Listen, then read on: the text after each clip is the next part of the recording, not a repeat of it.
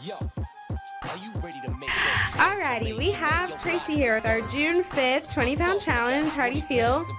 Ready. Tracey, I can already tell you're super determined and you're going to hit this goal. But we're going to go ahead and grab your initial weight. So I'm going to have you step onto the scale. Alright, we have 230.1. Good morning, we're here Tracey for the June 5th 20 pound challenge. How are you feeling? Good. Alright, your initial weigh-in was 230.1. Go ahead and jump on the scale. 207.8. Center. Sign up now and don't be a stranger.